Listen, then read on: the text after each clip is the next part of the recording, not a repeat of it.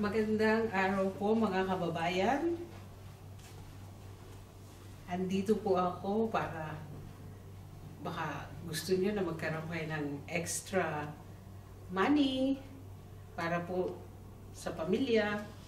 At the same time, nagtatrabaho po.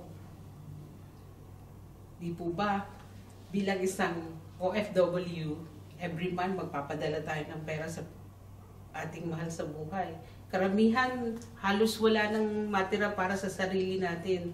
Kaya karamihan din, di nakakauwi pagkatapos ng dalawang taong kontrata, katulad ko noon. Dahil walang pera, well, mga pabayan, it's time na po na mag-isip tayo kung paano tayo magkakaroon ng extra income na kikita tayo. Narinig na po ba niyo yung bitcoins? Ang bitcoins po ay isang currency na pwedeng gamitin kahit sa sulok ng mundo. Pwede rin tayong mag-shopping, pwede rin pampadala sa ating mga mahal sa buhay sa Pilipinas. Paano po tayo magkakaroon ng bitcoins? Ah... Siyempre po, ang bitcoins, mag-i-invest tayo kahit ang pinakamababa po is 25 US dollar.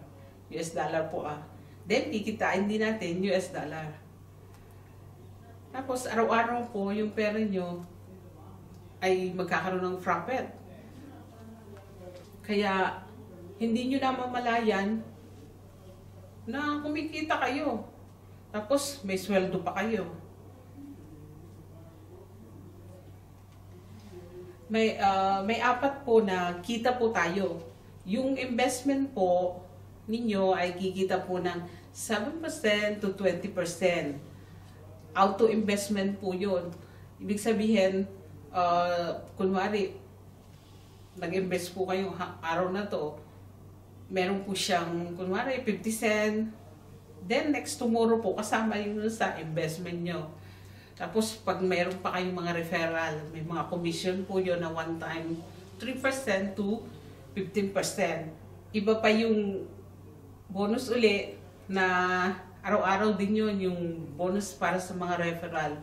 Hanggat hindi nagwi-withdraw yung na, na ano nyo, yung nasa baba nyo, eh meron din kayong kita.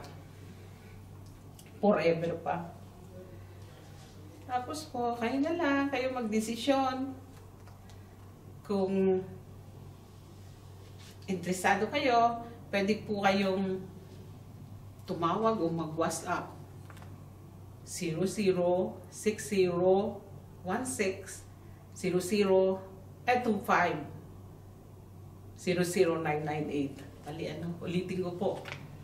0060 16 2500998. Tapos, ang ano ko po, ang account ko sa Bitcoins, wala pa akong one month na nakasali. 28 days pa lang. Ang minimum na ano po, yung yung pag-withdraw is 2 months po yung investment. Pero yung bonus po, anytime pwede nating i-withdraw. Ah, ito po yung mga plan. Ayan po yung plan. So, pwede rin nyo po akong uh, tanungin sa FB. Imelda Gonzaga Lawas. Any question po? Uh, doon po. Sige po.